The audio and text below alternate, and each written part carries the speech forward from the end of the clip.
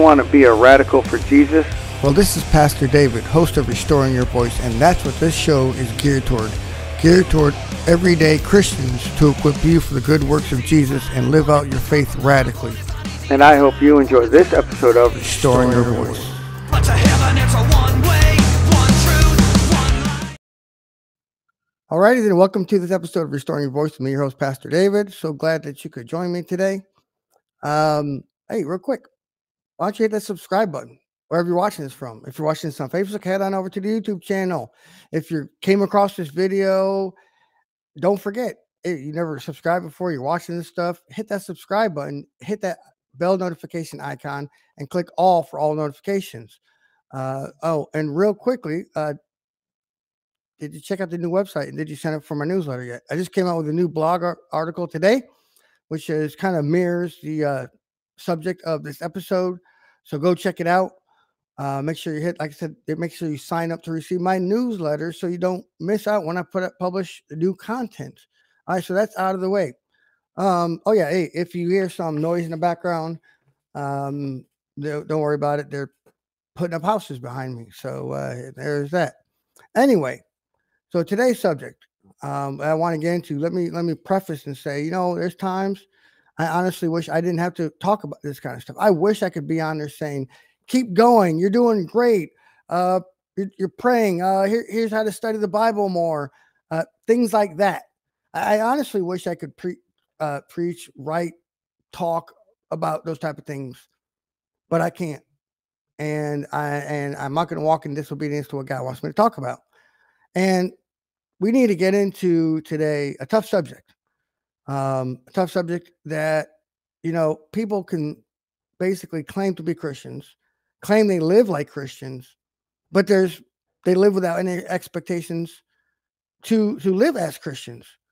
Um, so yeah, um, while you're watching this and you have any questions on this subject about what does that even mean, uh, maybe you have questions about oh I don't know what it means. Like what does it mean Christian expectations? Like what do you mean I have to do? What is this? What is that? Baby? Whatever. Please ask them in the chat. I'll do my best to get to them. But I want to talk about this because that's primary. Well, I think I think the uh, vast majority of the world is uh, highly secular compared to America. But make no mistake, we're going that way. Make make no mistake that that we have compromised the message of the gospel. We we have compromised what's in the Bible for each and every single one of us. And um, I'm going to read you some quotes to just highlight what I mean. All right. Anyway, these are some quotes. These are some quotes by people professing Christians, some of them pastors. And this should alarm you. I'm, gonna, I'm just going to leave them up there for you to read for yourself. Um, you can read them pretty much there. And this is stuff inside the church, mind you. There are churches out there, by the way, who affirms sin. They affirm it. They excuse it. They come up with all sorts of workarounds for for sin to be excused. And this should alarm you. This should alarm every single one of us. Let, let me let me uh, let me let me uh put out some grace here though. And as well as warning. All right. While no Christian will ever obey God's commandments perfectly. All right. While every Christian will sin, the true Christian will never excuse it. The true Christian will repent.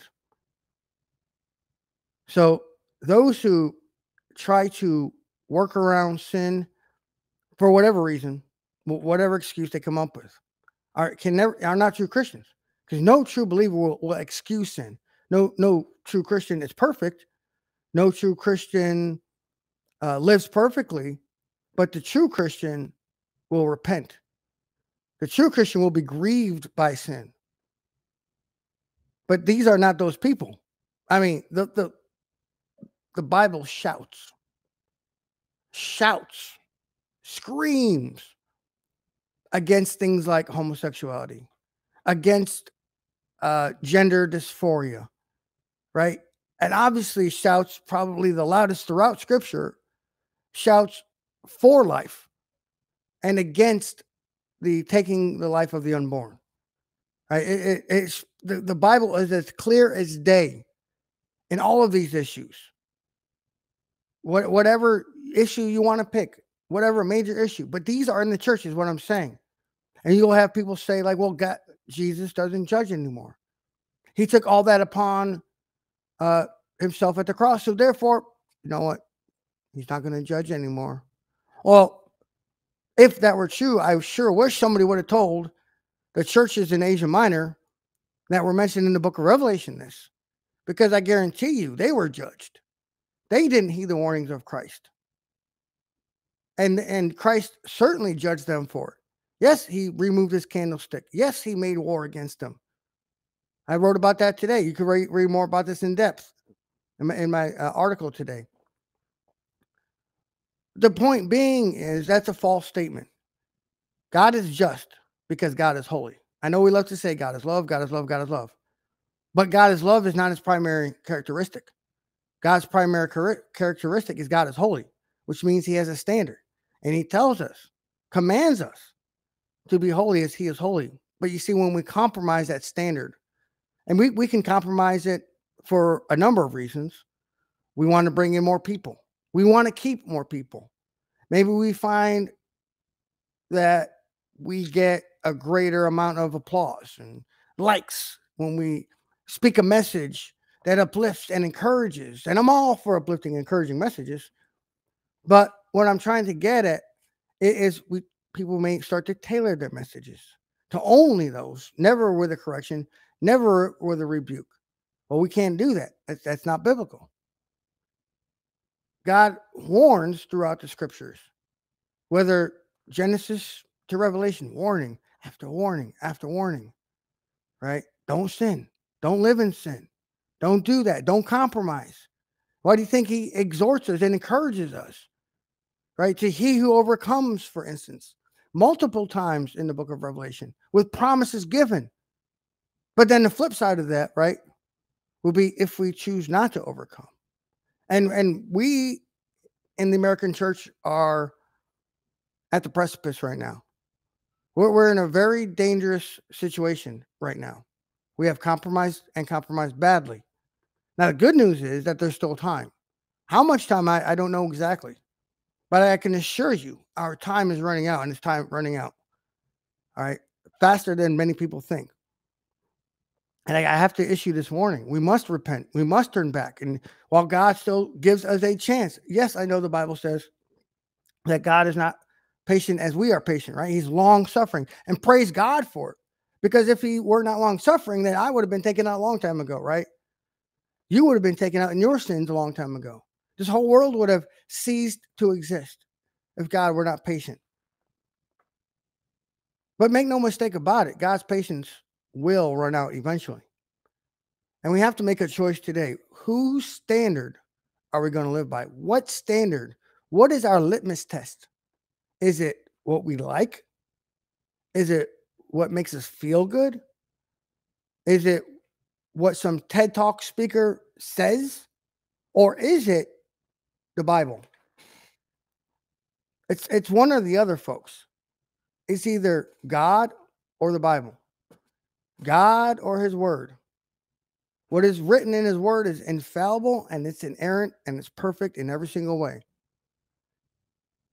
Thy word is truth. But we compromise on that. We want to even say, go so far as to even say that certain people are, are Holy Spirit filled. And while I'm not here to play judge, jury, and executioner with every person, God forbid I do that. But those living in these types of serious errors, right? There is in no way that they have the Holy Spirit of God because Jesus says that the Holy Spirit will lead you in all truth. For instance, that a, a man can be with a man and it's okay in the eyes of God is not truth, right? That's a bald faced lie. God is not okay with that. No more than his, is he okay with an unmarried man and an unmarried woman having sexual relationships. He is not. That is not truth whatsoever. What is your truth? Because we live in a day and age where it's my truth, it's your truth. You believe what I, you want. I believe what I want. Live and let live, the whole nine yards. But when we get to that point, there is no truth. And we've gotten to that point in the, in the church. Uh, unfortunately, we've gotten to the point where the, the, the only truth is um, Jesus loves you. And that's true. Absolutely. Right? Right. In this, right, God demonstrated his love for us, the Bible says. So I, I'm I'm on board that with that statement. But they toss out the rest of the Bible. Right? How about God is angry with the wicked all day long? Yes, that is true. Right? That that those who disobey him are storing up wrath for themselves on the day of judgment. Things like that are in the Bible and true today. But we don't use all of scripture. We want to use only the parts that make us comfortable. Now we've discarded truth. Right now we've gotten to the point where we are today. And I don't want to see that. I, I don't want to see it any longer because we don't have to. Right? Whom the sends is free is free indeed. We have we have these wonderful promises in the world, in the word, right? We have wonderful promises. Whom the Son sets free is free indeed. We get promises about the Holy Spirit empowering us, being no longer a slave to sin, things like that, all throughout Scripture. That's the good news. And it's the most wonderful news ever. But there are people out there who love staying in their bondage. They love it, they celebrate it, right?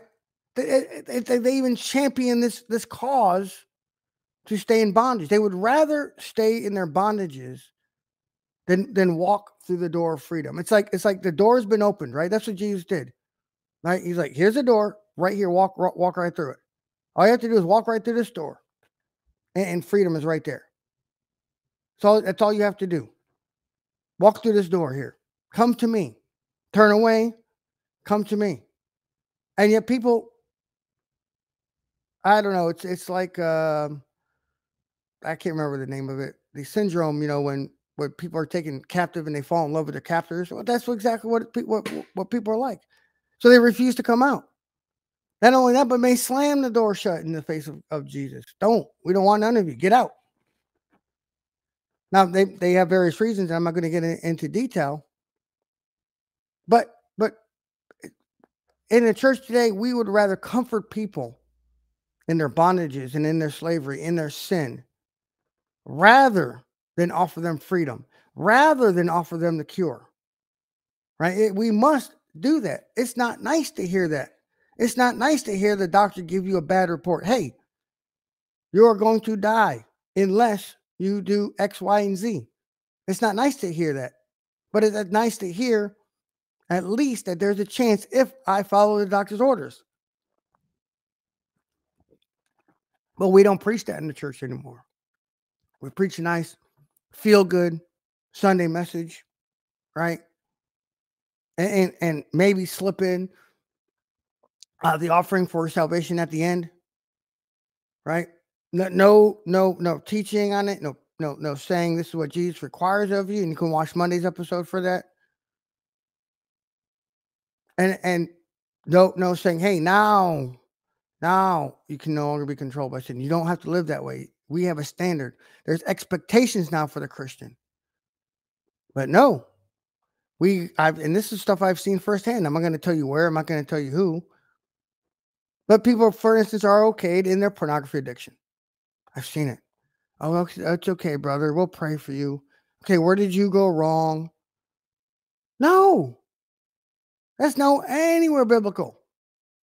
Nobody can be addicted and lust living in adultery since Jesus said, if we even lust after a woman, uh, if we, we've committed adultery. If we look upon a woman, commit lust in her heart, what do you think pornography is?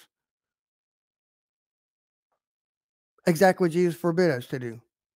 Yet this lifestyle of disobedience to God, and somehow it's okay, brother. No, it's not okay. No, they are not a brother. And and while it make make them feel nice about themselves, it just reinforces the bondage. It just reinforces that it's okay to remain in slavery. It is not. Jesus didn't come for us to remain in sin, He came to set us free. I think we can all get on board with that statement that Jesus did indeed come to set us free. No longer do we have to be tossed to and fro and- controlled by, by our lusts and desires. Exactly. Somebody's saying here um, are conditional. Yes, absolutely. In fact, yes, if you love me. Yes, I've said it time and again. I love that scripture verse. If you love me, Jesus says, you will obey my commandments. Plural, by the way. So all the commandments he taught while on this earth, we have to obey. Exactly. Living the Christian life is very conditional. It's not conditional as in, um, well, let- me say, as in, as in we have to earn God's love. But yes, it is absolutely 1000% conditional upon our own obedience. And the thing is, God empowers us to obey.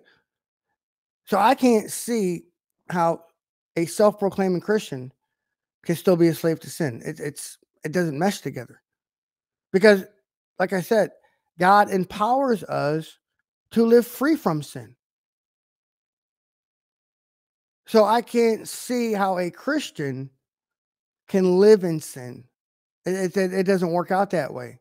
Now, I'm not saying we're perfect, right? We're still being perfected, right? Paul Paul makes this clear. Uh, believe yeah, again in the book of Philippians. He, he makes this abundantly clear, right? Even at that point in his life, and it's toward the end of his life, that he he sa- he said, "Oh, I'm still being perfected," but he didn't make an excuse for living in sin. He didn't say, "Well, I live in this sin, and don't worry about it, brothers and sisters, because I'm still being perfected." Right? Paul never wrote such a thing, ever. Living the Christian life comes with expectations. What do you think being salt and light means? It means we're supposed to be different from the world. It means we're supposed to show different, not be the exact same or worse at times in the church. The sad fact is that there are people out there in the world have no relation to Christianity that live better lives than many self professing Christians. How sad is that?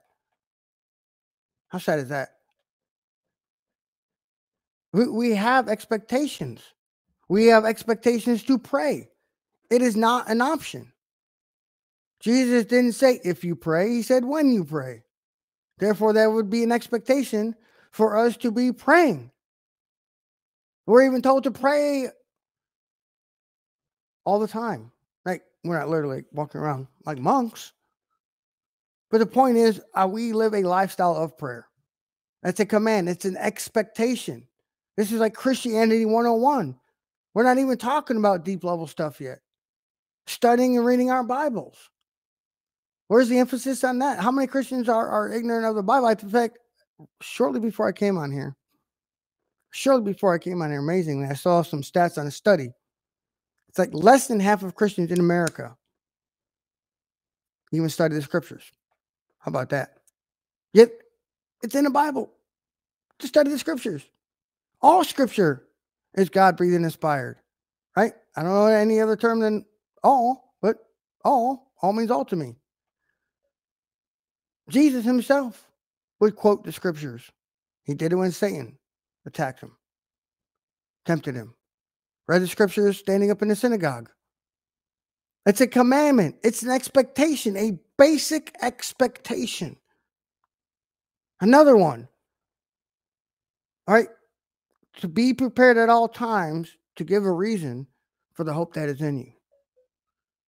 Yeah, apologetics. It's another basic requirement for every believer. We're not even in the deep stuff yet.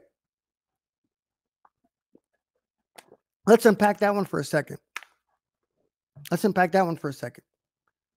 If you've been set free, if Jesus is truly truly your Lord, then you have a story. And and, and you don't have to quote scriptures front, back, and center. Just tell people your story. Jesus, I was this way, now I'm that way. I was a slave to sin in this way. Jesus set me free in that way. That's a reason for hope that is within you. That's apologetics. Right there. Oh, you Christian? Oh, what do you mean? Why should I become a Christian? Meh, meh, meh. Well, you know what?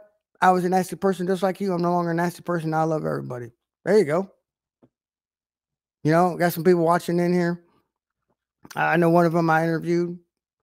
Staunch atheist. I've interviewed a couple of people who were formerly staunch atheists. Hated God, hated the things of God. right? All all all that and more. And and and then what ended up happening? They met God. They were redeemed. They have this love in their heart. I'm like, so you don't have to have per- perfect understanding of things, right? You don't have to do that. You don't have to be a, a scholar to do apologetics, but it's expected of every Christian out there. No matter who you are, no matter where you are at in life, you are. This is what is expected of you. But but how many people actually are able to do that? Well, if I tell people about God, um, might they might hate me. I might this, I might that, and they give every reason under the sun. Yet they have the nerve to claim the title Christian. Yet disobeying these these very basic Christian principles, I'll put it that way. These very basic Christian principles. The very tenets. How about this one? Here's another one. Claim to be a Christian. What church body are they a part of? The Bible tells, do not forsake the gathering of the saints. Don't don't forsake it. Do it. Church, who who did Paul write to, for instance? He wrote to local bodies, right? Every, every you know, min, minus the uh, pastoral epistles, right? Minus the the um, pastoral epistles like um, Timothy and Titus. The other letters of Paul were written to churches, the churches, the church in Corinth, the church in Ephesus, the the church in Galatia, right? The church in Thessalonica. Those are all church bodies that Paul wrote to. So minus the pastoral epistles, right? And when he was writing to Timothy and Titus, right, and, how to be as leaders, he wrote to church local church bodies. He never wrote to just individuals saying, keep your Christian faith up. That's what you need to do better. He never once did that. It is a biblical command to be to be to attend church to be, to be part of a local church body. Yet people say I'm a Christian and they never attend church. What? That's like saying I don't know. We'll we'll throw something out there. That's like saying I work for Amazon, but I've never showed up to work. I, I I work for Apple, but I've never showed up to work. I, I'm a, I'm a soldier in the army, but I've never even been to basic training. That that is what that's exactly what it is like. Don't attend church. Not not to mention the numerous benefits of attending a church, the numerous benefits of fellowship, of being with our family, gathering together, fellowshipping is innumerable. Paul himself alludes to this, right? We're all one, led by the same spirit, different parts of a what? A body, right? My hand here doesn't go off and and, and uh, do its own thing, right? My foot doesn't go walking on its own, right? One body. We're supposed to be one body working together. The benefits are innumerable. Not to mention, to do otherwise is to disobey and live in disobedience. But we okay these things. Now, of course, I know there's understanding, there's room there. I get it. Health, health reasons, things like that. I get it completely. Believe me, I do. Believe me, I do. People are housebound. Okay, we're, we're not talking about those. We're talking about Christians who are able to attend church. That's what we're talking about here. Ably bodied to attend and just do not. But we okay these things, right? We, we okay um, vitriol, right? Vitriolic speech. People saying the most hateful of things to each other and to others. Just and we okay it. Yet the Bible commands us not to let any unwholesome speech come from our mouth. And I get it. We've all fallen prey to this one. I guarantee. I guarantee every one of us. But it's not normative. You see what I'm saying? That's what I'm getting at. Not, I'm not getting at those those times when we all fall short. I'm getting talking about is unwholesome speech the norm for us? Do we make dirty jokes? Do we laugh at dirty jokes? Do we cuss others out? Yeah, there are you just uh, I, you know I dare you just just go on Facebook one day. Choose uh, a Christian ministry with a large following. All right, go on there. You'll see professing Christians cussing other people out. I it just happened to me the other day. A professing Christian on Monday's Q&A session who told me, and I quote, to F off. That's what he told me. A professing Christian, yet Bible says, do not let any unwholesome speech proceed from our mouth. Those that's a Christian expectation. And we're not talking, oh, as a pastor, you are expected to do, as an apostle, just basic everyday Christian living. Like I said, my also, yeah, uh, you know, this comes back to what I said. Minus the pastoral epistles, which by the way, there is a lot of truth in those for the everyday believer. Paul wrote to the churches telling them this telling them telling them just everyday believers what to do, what not to do, in other words, how to conduct themselves. There are expectations when you come to Christ. Very real expectations. And, and like I said, it we're empowered to live that way. There's there's no reason we can't. There's no reason we shouldn't. I don't see, I don't see it where a Christian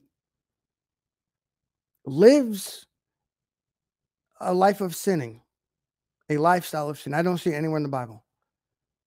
I, I'm just going to come out and say it. It's impossible. It's impossible for the true born again believer to have a sinful lifestyle. I'm just going to come out and say it. Why? Because it's what the Bible says, right? It, it- it is impossible. In fact, I think it says in First John for those who have seen the Lord to go on sinning. It's impossible. It's not normative. Why do we excuse it? But see, like any organization, church being no different in this regards, when we compromise these things, we've set a new standard, right? When I was in the army, somebody would tell me, when you walk by something and you don't correct it, you've just set the new standard. And I wholeheartedly agree with it. And for too long, we've walked by substandard things. We walk by substandard beliefs, right? In other words, in contradiction to what God says, and we've said nothing. We've been silent on the issue for too long, church. It's time for us to step up. It's time for us to come out and say, this is wrong. This is right, not according to me, but according to God. This is what it says in His holy word. There's no two ways about it. Get right with God or not, in or out, because God gives us the ability to do that.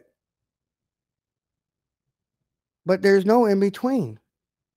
There's no, oh, I'm a part of a Christian, and now over here, I'm getting to be a Christian. Christian or not Christian. Light, dark, blessings, curses, the whole nine yards. So we have a standard to live by. Where do we find it?